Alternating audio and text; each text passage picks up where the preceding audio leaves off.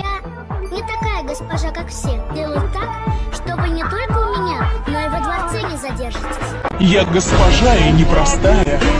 Меня зовут Михримах Султан.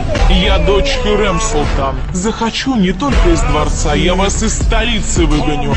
Кто мне помешает? Где этот герой?